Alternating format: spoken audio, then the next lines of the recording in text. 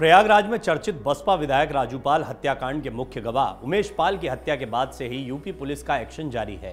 एक हफ़्ते के भीतर पुलिस ने दो आरोपियों को एनकाउंटर में ढेर कर दिया। 6 फरवरी को यूपी पुलिस ने आरोपी विजय चौधरी उर्फ़ उस्मान को एनकाउंटर में ढेर किया। उस्मान के एनकाउंटर के बाद उनकी पत्नी ने पुलिस पर फर्जी एनकाउंटर करने के आरोप लगाए। उस्मान की पत्नी शिवानी का कहना है कि मेरे पति ने किसी की हत्या नहीं की। 24 फरवरी को भी पूरे दिन घर पर थे और एनकाउंटर की रात में भी घर पर उनके साथ रात भर रहे। उन्होंने किसी की हत्या नहीं की, वो घूरपुर में गाड़ी चलाकर परिवार का खर्चा वहन करते थे। रात भर घर पर थे, जानबूझकर एनकाउंटर किया गया है। ये सारे आरोप जो हैं, वो उस्मान उर्फ़ विजय चौधरी की पत्नी ने लगाए हैं। उस्मान की पत्नी का ये भी बयान है कि वो उस्मान थे ही नहीं, नाम था विजय चौधरी। बहरहाल फिर से सवाल उठने लगा है कि क्या फेक एनकाउंटर हुआ है। यूपी पुलिस पर जो यूपी पुलिस की कार्रवाई है, उस पर कई लोग सवाल खड़े करते हैं, आपको दिखाई दे रहे हैं। दरअसल, जब से उत्तर प्रदेश में योगी सरकार बनी है, तभी से अपराधियों की शामत आ गई है। तेज़ी से एनकाउंटर करने का सिलसिला अनवरत जारी है। इस पर योगी सरकार का कहना है कि सूबे की कानून व्यवस्था को दुरुस्त रखने के लिए ऐसा किया जा रहा है, जबकि विपक्ष का आरोप है कि कानून व्यवस्था सुधारने के नाम पर पुलिस फर्जी एनकाउंटर कर रही है। उमेश पाल हत्याकांड के बाद हुए एनकाउंटर के बाद विपक्ष ने एक बार फिर से सवाल खड़े किए हैं। सपा के राष्ट्रीय प्रमुख महासचिव रामगोपाल यादव ने कहा कि यूपी में पुलिस फर्जी एनकाउंटर कर रही है, असली दोषियों को छुपा रही है। उन्होंने कहा कि अतीक अहमद के पढ़ाई कर रहे बेटे को भी पुलिस नहीं बख्शेगी, उसका भी फर्जी एनकाउंटर कर देगी। बसपा सुप्रीमो मायावती ने यूपी के पुलिसिया कार्रवाई पर सवाल पूछे हैं। मायावती ने कहा, क्या सरकार अपनी विफलताओं पर पर्दा डालने के लिए दूसरा विकास दुबे कांड करेगी?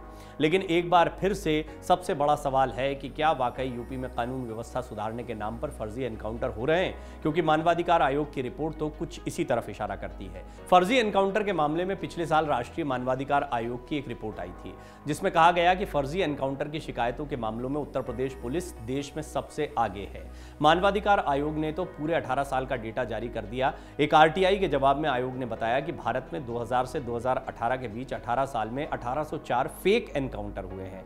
अकेले यूपी में 811 फेक एनकाउंटर यानी 45 फ़ीसदी केस दर्ज किए गए। कई फेक एनकाउंटर्स केस में पुलिस दोषी, पुलिसकर्मी दोषी भी करार दिए गए हैं।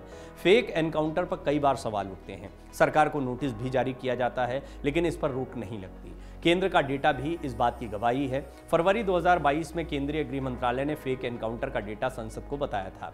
गृह राज्य मंत्री नित्यानंद राय के मुताबिक 2017 से लेकर 2022 तक भारत में 655 फेक एनकाउंटर हुए। राय ने बताया था कि सबसे अधिक फेक एनकाउंटर छत्तीसगढ़ में किए गए।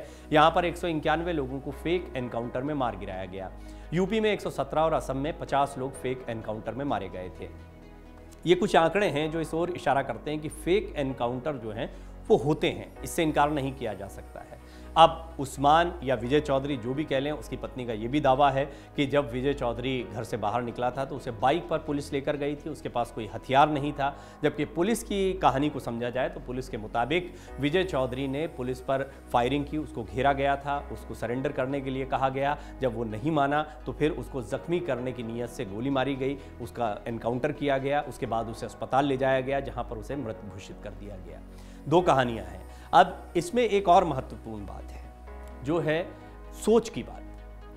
अपराधियों का एनकाउंटर होना। विकास दुबे के समय पर आपको याद होगा, गाड़ी पलट गई थी, गाड़ी पलटने के बाद विकास दुबे का एनकाउंटर कर दिया गया था। एनकाउंटर तब हुआ जब विकास दुबे महाकाल मंदिर में दिखाई दिया था। महाकाल मंदिर उज्जैन से उसकी गिरफ्तारी होती है, उसके बाद में उसे उत्तर प्रदेश लाया जाता है, उत्तर प्रदेश की सीमा में प्रवेश करने। आपने देखा कि मीडिया की तमाम गाड़ियाँ जो हैं, वो विकास दुबे की गाड़ी के पीछे पीछे चल रही थी, जिस गाड़ी से उसे ले जाया जा रहा था। लेकिन थोड़ा सा गैप होता है और उसके कुछ ही देर बाद विकास दुबे का एनकाउंटर हो जाता है। विकास दुबे के एनकाउंटर के समय पर यह कहा गया कि उसने भागने की कोशिश की थी, गाड़ी पलट गई थी, जिसके बाद वो भाग रहा था और उसे भागने से रोकने के लिए पुलिस ने गोली मार दी। बहरहाल एनकाउंटर सच्चे हैं फेक हैं, ये तो जाँच का विषय है, इस पर कोई रिपोर्ट आएगी, लेकिन मानवाधिकार आयोग की रिपोर्ट के मुताबिक या एक आरटीआई के ज़रिए जो दावा किया गया या कई बार ऐसे आंकड़े रखे गए हैं, उसमें कई पुलिसकर्मियों पर कार्रवाई भी हुई है। उत्तर प्रदेश पुलिस पर लगातार सवाल खड़े हुए हैं, लेकिन अपराध मुक्त प्रदेश की छवि को बनाने के लिए या इसको और मज़बूत करने के लिए योगी आदित्यनाथ की पुलिस पूरी तरह से एक्शन में दिखाई दे रही है। कई अपराधियों में एनकाउंटर का डर बैठा है। अब ये एनकाउंटर कितने सही हैं, कितने गलत हैं, इस पर आप भी अपनी राय रखें। क्या आपको लगता है कि एनकाउंटर होने से इन अपराधियों के मन में डर बैठता है? और क्या फेक एनकाउंटर होने की वजह से कई परिवार खत्म भी हो जाते हैं? इस पर आपकी राय क्या है, वो आप ज़रूर रखें।